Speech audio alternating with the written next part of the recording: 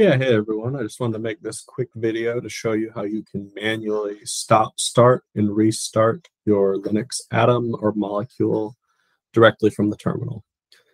The first thing you're going to want to do is navigate to the Boomi home and then bin directory within your Boomi home directory.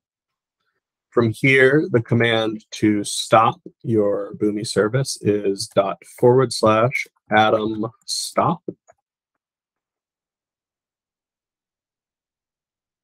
And then to start the Boomi service, it is dot forward slash atom start. And then to perform a restart, the command is dot forward slash atom restart.